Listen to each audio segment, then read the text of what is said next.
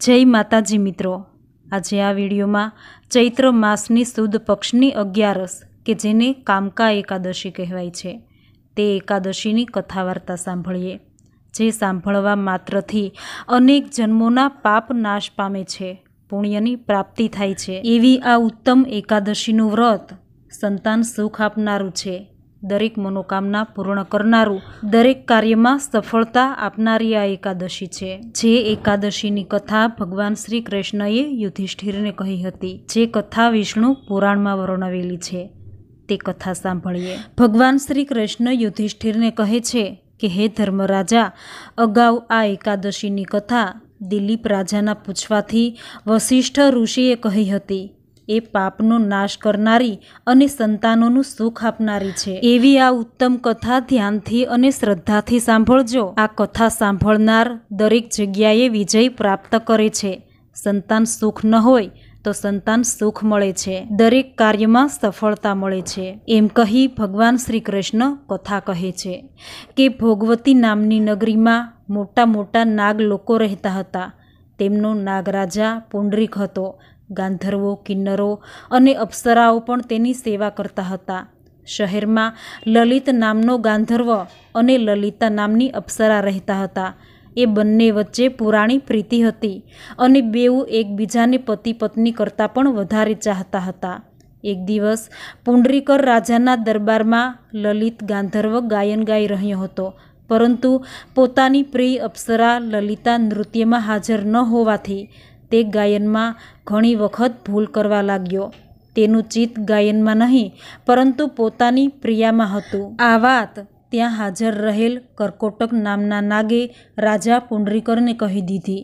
એટલે કામાતુર લલિતને શ્રાપ આપ્યો કે રાક્ષસ યોનિમાં જન્મ ધારણ કર. નાગરાજાના શ્રાપથી ગાંધર્વ લલિત રાક્ષસ તરીકે જન્મ્યો. જોતા બીક લાગે એવો આઠ જોજન લાંબો એ રાક્ષસ આખો બેડોળ હતો. મોઢું ગુફા જેવું હતું. આંખો સૂર્ય ચંદ્ર જેવી હતી અને ડોક પર્વત જેવી હતી. નસકોરા, ખાડા જેવા બિહામણા હતા. પોતાના પ્રેમીને રાક્ષસ થયેલો જાણી અપ્સરા લલિતા બહુ દુઃખી થઈ ગઈ અને કયા ઉપાયે શ્રાપ મુક્ત કરવો તેની ચિંતા કરવા લાગી. જ્યારે કોઈ ઉપાય તેને માલુમ ન પડ્યો, ત્યારે તે પોતે સંસારના સુખ ભોગ છોડી પતિની પાછળ વનમાં ચાલી ગઈ. આમ બંને પતિ પત્ની ફરતા ફરતા વિંધ્યાચળ પર્વતના શિખર ઉપર આવી ગયા. અહીં ઋષ્યશૃંગ નામના એક મહાતપસ્વી ઋષિનો આશ્રમ હતો.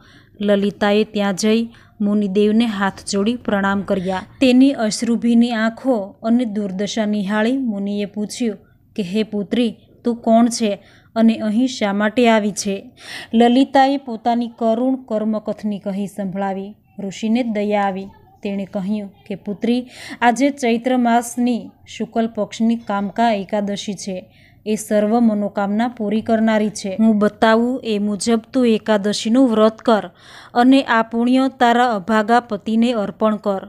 ઈશ્વર કૃપાએ શ્રાપના દોષથી તે મુક્ત થશે. મુનિરાજના આ વચન સાંભળી હરખ પામેલી લલિતાએ ઋષિના કહ્યા મુજબ એકાદશીનું વ્રત કર્યું.